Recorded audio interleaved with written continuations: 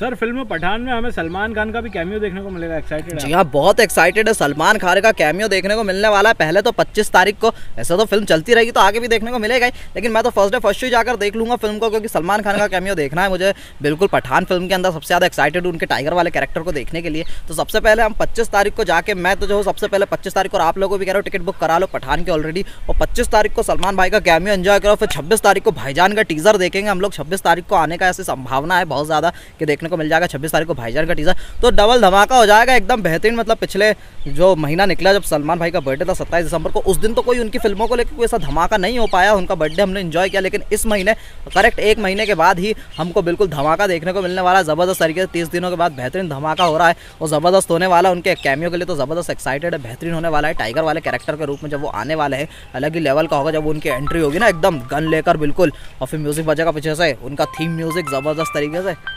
अरे मज़ा ही आ जाएगा, एक ज़बरदस्त माहौल क्रिएट हो जाएगा। कई सारी ऐसी चीज़ें हैं फ़िल्म को लेकर जो कि मज़ा आने वाला है और टाइगर वाले कैरेक्टर को लेकर मैं सबसे ज़्यादा एक्साइटेड हूँ। उम्मीद है कहीं ना कहीं कुछ ना कुछ नया चीज़ें देखने को मिलेगी और कहानी को लेकर भी थोड़ा बहुत समझ में आएगा। हो सकता है उनकी कहानी की जो टाइम है उसको पठान के साथ मिलाया जाए और या पठान की जो टाइम है वो आगे जाकर किस प्रकार से क्या मोड़ लेकर टाइगर थ्री में पहुंचेगी, वो सब भी हमें फ़िल्म पठान में ही क्लियर होगा। तो काफ़ी ज़्यादा एक्साइटेड हूँ सलमान भाई का कैमियो देखने के लिए फ़िल्म पठान के